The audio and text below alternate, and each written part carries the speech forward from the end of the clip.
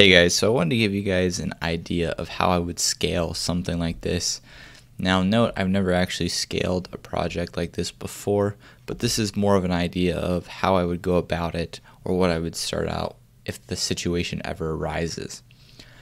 So the front end itself doesn't really need anything else um, or changes and I probably just would have to pay more money to Netlify um, or at least get off the free plan if it gets a ton of users. And then same with the Cloudflare and S3. No changes would need to happen here from a tech point of view. I would just have to pay more and more money as more users would use it. And so also this is just from a tech or an infrastructure point of view. Obviously, you're also going to want to be improving your queries and optimizing the code itself but this is just from an infrastructure point of view, scaling that up. So the main bulk of what I'm going to talk about today is this guy. So how do I scale the backend Node, Postgres, Redis services? And this is going to be um, very much an overview, and I'd like to in the future do a more in-depth um, when I get more involved with it. So this guy right now, let's pretend he's in a $5 DigitalOcean bucket, and I have all three of those guys inside of there. So the first thing I would do is split those guys up. So I now have three DigitalOcean buckets. And now I might do this one at a time. Maybe I move Postgres out of the DigitalOcean bucket first, and then maybe Redis second. But at some point, I'm going to split it up so now I have three $5 machines. And the reason I'm doing that is because now I can separate each one of these processes and I can find out what the bottleneck is. So maybe it's we're doing too many database queries and this guy is getting overloaded or we're storing too much data or something.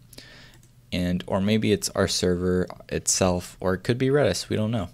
So splitting this up, we can see um, or we might already know what's taking the most so we can split this up and then if Postgres needs more help, we can bump him up to, for example, a $10 and then a $20. I guess it's 15, a $20 kid right here.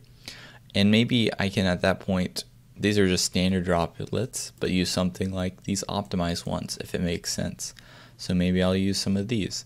And so you can kind of optimize the individual pieces now that they're broken out into three ones. So that's called horizontal scaling is when you get more of something.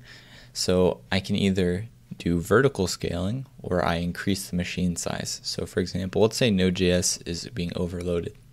So I just mentioned how we can get more CPU, more memory for it, and that would be called vertical scaling. Or I could just get another Node.js machine. So let's say I have four buckets now. And so this is called horizontal scaling. And I can just infinitely do this where I'm just grabbing more and more Node.js buckets to handle the scale. So I don't know what that magic number is, but there's some kind of point where it's more efficient to do vertical scaling and it's probably more efficient to do horizontal scaling. So I don't know what that number is. It may be specific per project, but it would make sense to scale up, for example, give this some more memory, and then it would be more expensive to just keep giving it memory rather than just creating another one. Also, the nice advantage of having no, three, you know, for example, servers here. Let's say this kid crashes for whatever reason. We now still have two guys that can serve requests. Um, whereas if I just had a giant machine right here that takes has a ton of memory, if it goes down, the whole server would go down. So that's another advantage of doing some horizontal scaling is you're more uh, redundancy to faults and whatnot. And so that's pretty much how I would scale this thing up generally is uh, split these up into its three pieces and then scale each one so you can get multiple Postgres servers, multiple Redis guys, um, and now, of course, as I get more and more of these things, it's going to get more and more confusing and require more and more management. So I assume at some point I'm going to need to set up some kind of Kubernetes or Docker Swarm to be able to manage all these different machines.